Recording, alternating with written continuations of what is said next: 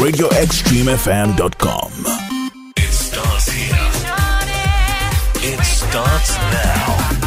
Hannah Gutierrez Reed, Rust Armorer guilty of Halyna Hutchins' death, a movie set weapons handler who loaded a gun for actor Alec Baldwin before it fired, and killed a cinematographer has been found guilty of involuntary manslaughter. Hannah Gutierrez Reed was found not guilty of a second charge, tampering with evidence over the 2021 shooting of Halyna Hutchins on the set of Rust. The 26-year-old could now face up to 18 months in prison. Mr. Baldwin also faces a manslaughter trial over the fatality. Ms. Hutchins, 42, was killed after a gun Mr. Baldwin used in a rehearsal fired a live round on the set of the Western in New Mexico. How the Alec Baldwin fatal film set shooting unfolded. Jurors deliberated for three hours before returning Wednesday's verdict. Halyna Hutchins was killed while on set in 2021. Gutierrez Reed remained expressionless as she learned her fate. As she was led away by two officers, she told her weeping mother, It'll be okay. According to Reuters, Ms. Hutchins' parents and her sister said they were satisfied with the verdict. Their statement added, We look forward to the justice system continuing to make sure that everyone else who is responsible for Halyna's death is required to face the legal consequences for their actions. The conviction of Gutierrez Reed is likely to be seen as good news for Mr. Baldwin. His attorneys can now argue that it was not foreseeable for their client that there was a live round on set, because that was the responsibility of the armorer. Prosecutors said Gutierrez Reed had failed to ensure the weapon was only loaded with dummy rounds, fake bullets used to look and sound like real ones. This case is about constant, never-ending safety failures that resulted in the death of a human being. Prosecutor Kari T. Morrissey said during closing arguments on Wednesday, Gutierrez Reed was negligent, careless, and thoughtless when she failed to notice that live bullets had mixed with dummy rounds in a box of ammunition on set, MS. Morrissey told the jurors, one of those bullets was in the firearm that was used by Mr. Baldwin, prosecutors said.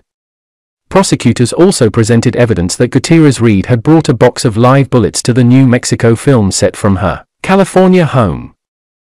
They said these live rounds slowly spread throughout the set over the course of 12 days. Ms. Morrissey said she believed the armorer did not intend to bring live rounds to the set, but rather that Ms. Hutchins' death was a case of tragic negligence. The prosecutor added that Gutierrez Reed was more worried about her career and less about the victims in the aftermath of the shooting. Gutierrez Reed did not testify in the two-week trial, but her lawyer said in closing arguments that prosecutors had failed to prove his client was the sole person responsible for the fatal shooting, that ammunition boxes don't matter, because we don't know what was in them three or four days before. Her lawyer, Jason Bowles told the jury, arguing his client did not know that there were real bullets on set. Mr. Bowles also blamed Mr. Baldwin, arguing that he had gone off script when he pointed the gun at film crew. It was not in the script for Mr. Baldwin to point the weapon, he said.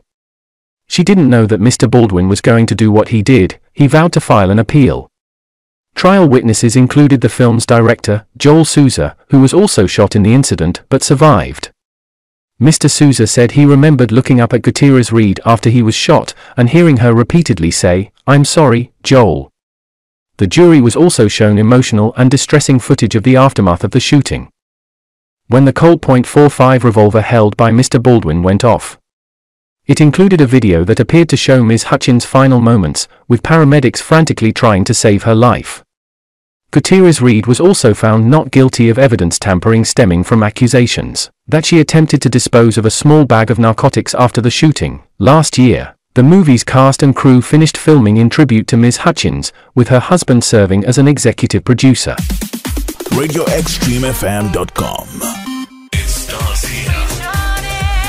It starts now.